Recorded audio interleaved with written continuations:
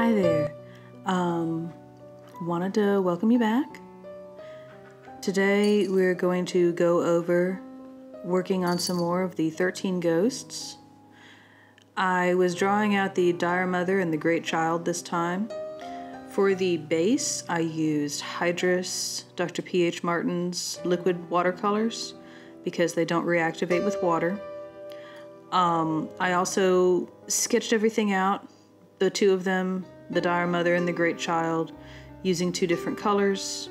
I wanted to go with green for him and a pink for her.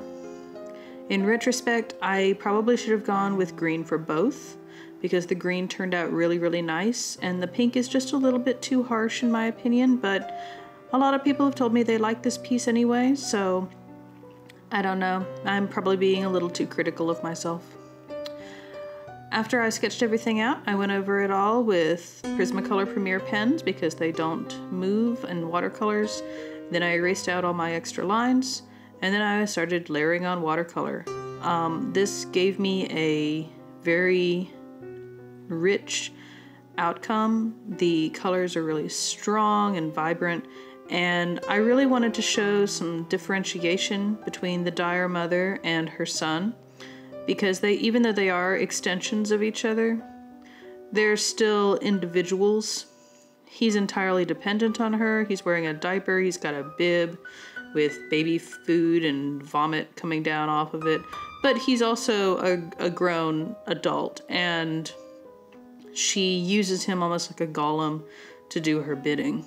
And I wanted to get across that she's full of a lot of life and he's kind of just dead and following orders, even though he is his own person.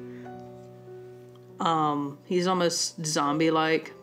I tried to give him a baby's head on top of a giant grown man's body.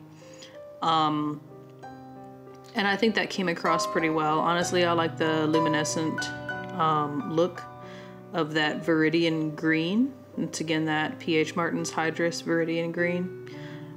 Um, and I'm, I'm really happy with the way that turned out.